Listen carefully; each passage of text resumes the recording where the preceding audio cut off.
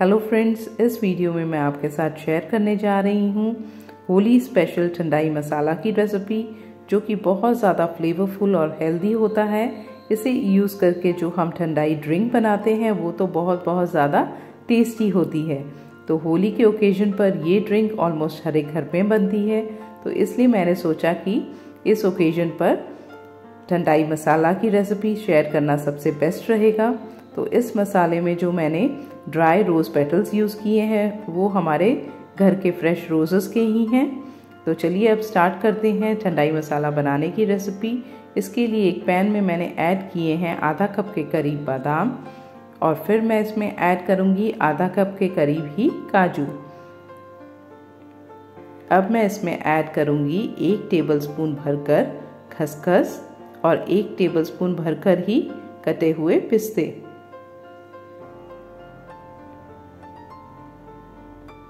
और फिर मैंने ऐड की है एक टेबलस्पून भरकर सौंफ और 10 से 12 साबुत काली मिर्चें और इलायची जो कि है सात से आठ।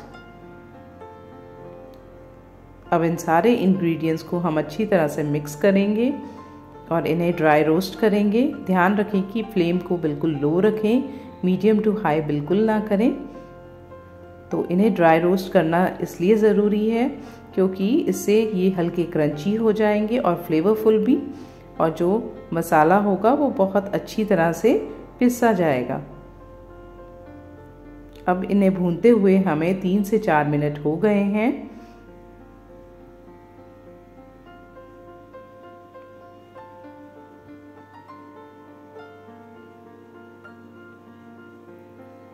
अब हम इसमें ऐड करेंगे कुछ ड्राइड रोज़ पेटल्स और फिर इसे थोड़ा सा हिलाएँगे और फ्लेम को ऑफ़ कर देंगे।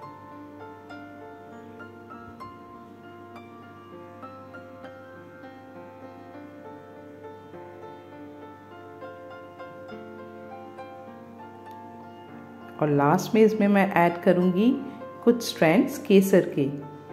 तो केसर ऐड करने के बाद आप इसे हल्का सा मिक्स करें और इन सारे इंग्रेडिएंट्स को अच्छी तरह से ठंडा कर ले। ठंडा होने के बाद इन्हें आप ट्रांसफ़र करें एक ग्राइंडिंग जार में और इसे अच्छी तरह से पीस लें।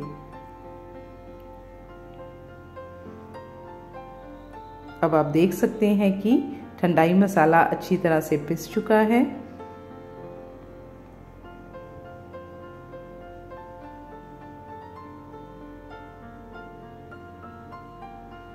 तो अगर आप घर पर ठंडाई मसाला प्रिपेयर करें तो उसका फ्लेवर टेस्ट और हेल्थ बेनिफिट्स बहुत ज़्यादा होते हैं। तो चलिए अब हम बनाते हैं ठंडाई। उसके लिए एक ब्लेंडर में मैंने ऐड किया है एक गिलास भरकर ठंडा दूध और फिर इसमें मैं ऐड करूँगी दो चम्मच भरकर ठंडाई मसाला के। अब मैं इसमें ऐड करूँगी एक चम्मच भरकर पिसी हुई चीनी और इसे अच्छी तरह से ब्लेंड कर लूँगी। अब ये तैयार हो गई है बेसिक ठंडाई ड्रिंक इसे अब गार्निश करेंगे ड्राई रोज पेटल्स और कुछ स्ट्रैंड्स केसर के साथ।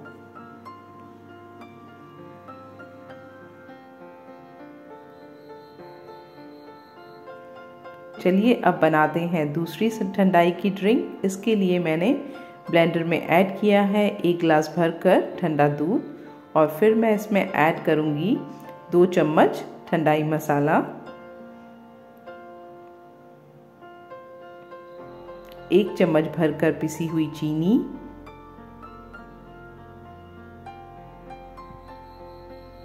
और फिर इसमें मैं ऐड करूँगी केसर वाला दूध। तो यहाँ मैंने थोड़े से दूध में केसर के कुछ स्ट्रैंड्स सोख करके रख दिए थे। अगर आप इस तरह से केसर वाला दूध डालकर ठंडाई बनाएँगे तो इसका फ्लेवर बहुत ज़्यादा अच्छा आता है। जिसे केसर का फ्लेवर पसंद हो तो उसे ये ड्रिंक बहुत ही अच्छी लगेगी। तो इसे अब अच्छी तरह से ब्लेंड कर लें।